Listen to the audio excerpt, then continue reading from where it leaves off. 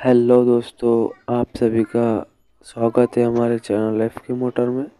आज हमारे पास आई हुई वॉक्स वैगन की विंटो इसका जो है तो पानी लीकेज का प्रॉब्लम है। कस्टमर का कहना है क्या गाड़ी के अंदर पानी बिल्कुल भी नहीं टिक रहा है और पानी नीचे से टपक रहा है और कहाँ से लीक है वो समझ नहीं आ रहा है, पर पानी तो कम हो रहा है।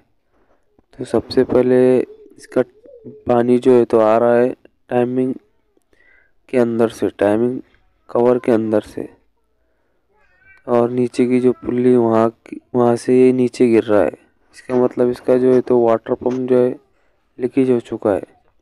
तो हम इसका वाटर पम्प जो है तो आज खोलने वाले पूरा प्रोसेस बताएँगे आपको। किस तरीके से इसका वाटर पम्प रिमूव करना जाता है और कितने का है, क्या इसकी प्राइस है। सबसे पहले इसका कोलन टैंक जो है तो बाहर निकाल लेंगे। और ये जो पानी के पाइप वगैरह ये हटाना पड़ेंगे। इसका फाउंडेशन जो है तो आपको खोलना पड़ेगा। इसकी टाइमिंग वगैरह सब खोलना पड़ती है वाटर पम्प के लिए, क्योंकि इसका वाटर पम्प जो है तो अंदर आता है। कोई कोई गाड़ियों का जो है तो वाटर पम्प बाहर रहता है फ़ैन बेल्ट के अंदर लगा हुआ था पर इसका जो है तो इसका टाइमिंग के अंदर वाटर पम्प आता है।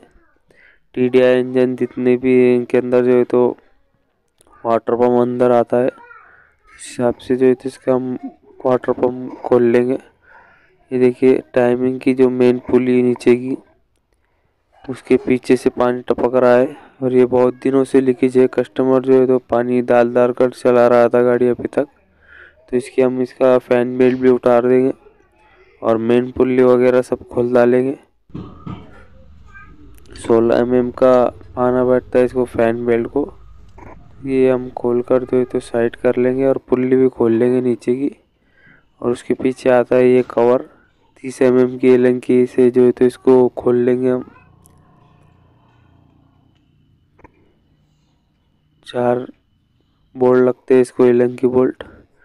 ये फाउंडेशन का बोल्ट है, सोलह एम एम का। ऊपर का जो ये फाउंडेशन है, उसका, उसको भी खोल के जो है तो साइड कर लेंगे हम। उसके बाद आपके सामने आ जाएँगी इसकी टाइमिंग ये दो बोल्ट है ऊपर से फाउंडेशन के ब्रैकेट के 16 एम mm के। निकल गए हमारा फाउंडेशन बाहर।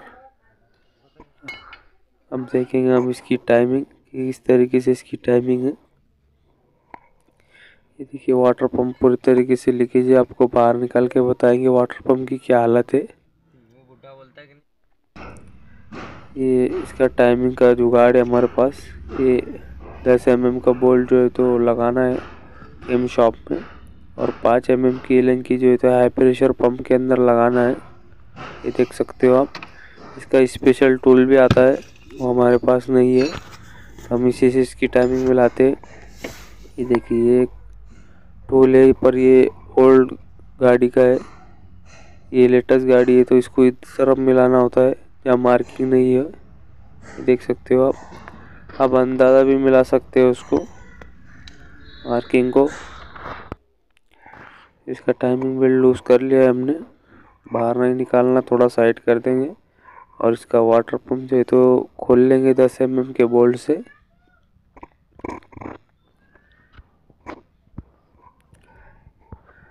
वाटर पंप खोलकर जो है तो बाहर निकाल लेंगे हम।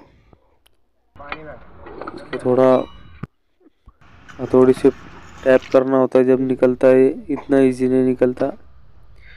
ये देखिए, यहाँ से जो है तो ये वाटर पम्प लीकेज था। बाकी साउंड भी आ रहा है थोड़ा इसके अंदर, और प्ले भी आ गया है वाटर पम्प के अंदर। अब नवा वाटर पम्प बताएँगे हम आपको कितने का है। सत्ताईस सौ पंचानवे रुपये का ओरिजिनल वाटर पम्प है वॉक्स वैगन का। ये देख सकते हो ओरिजिनल पार्ट है ये। इसमें जो है तो इम्पोर्टेड इम्पोर्टेड भी आता है, लेकिन हम जो है तो ओरिजिनली यूज़ करते हैं इम्पोर्टेड डालकर कोई मतलब नहीं है। तो ओरिजिनली चीज़ डाले गाड़ी को, कोई भी अगर आपके पास गाड़ी हो तो। इसको अंदर अच्छा साफ़ कर लेंगे हम। जो रस्ट आया हुआ हुआ है पैकिंग के अंदर जो रस्ट आता है, वो साफ़ कर लेंगे अच्छी तरीके से। और उसके बाद ये हो गया हमारा वाटर पंप टाइट इसके बाद हम मिला लेंगे इसकी टाइमिंग टाइमिंग हमने जो है तो मिला ली है। ये देखिए, ऊपर जो है तो पाँच की लंकी एकदम फ्री बैठना चाहिए। और दूसरा केम शॉप के अंदर भी जो है तो एकदम इजी बाहर आना चाहिए और अंदर भी जाना चाहिए ये बोल्ट और नीचे की मार्किंग देख सकते हो आप, नीचे की क्रैंक की मार्किंग जो है तो लॉक है।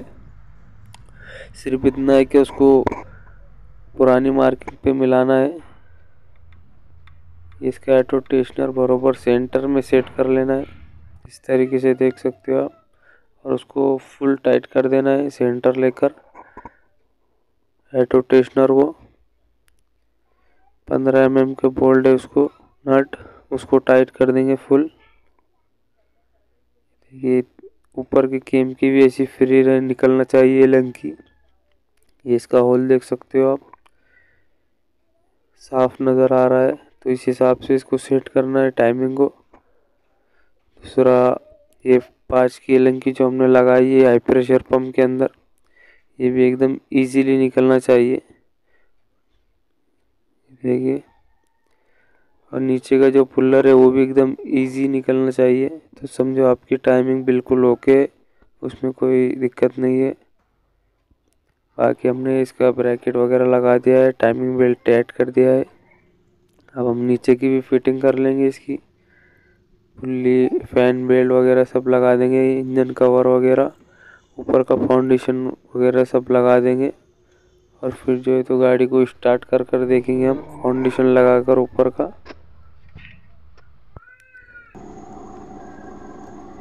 एक दो बार स्विच बंद चालू करेंगे हम, क्योंकि डीजल अच्छी तरीके से आ जाए बाहर। इंजन की तरफ़। ये गाड़ी हो गई हमारी स्टार्ट देख सकते हो। हमारी टाइमिंग जो है बिल्कुल ओके कोई नॉइस नहीं कोई राउंड नहीं। सबसे पहले जो है हम इसके अंदर सादा पानी डालेंगे। लीकेज चेक करने के लिए। लीकेज पूरा चेक करने के बाद ही जो है तो हम इसके अंदर कूलेंट डालेंगे। जब तक के सादा पानी डालकर इसको चेक करना पड़ेगा हमको। देखिए नीचे से कोई पानी वगैरह कुछ लीकेज नहीं है पहले जो है तो कंटिन्यू पानी टपक रहा था वाटर पंप के अंदर से। अभी कोई पानी वगैरह लीकेज नहीं है इसका। एक राउंड मार कर आएँगे हम इसका और इसका फ़ैन चेक करेंगे। उसके बाद इसके अंदर कूलेंट डालेंगे। ये एक राउंड हो गया है हमारा। फ़ैन भी घूम गया है, देख सकते हो आप। इसके बाद हम इसके अंदर कूलेंट डाल देंगे। वीडियो अच्छा लगा हो तो लाइक करें शेयर करें सब्सक्राइब करें। हमारे चैनल को सपोर्ट करें। और कुछ अगर आपको पूछना है तो कमेंट के अंदर पूछ सकते हो। फ़ैन वगैरह सब घूम गया लीकेज वगैरह कुछ नहीं है। थैंक्स फॉर वॉचिंग वीडियो अच्छा लगा हो तो लाइक भी करें।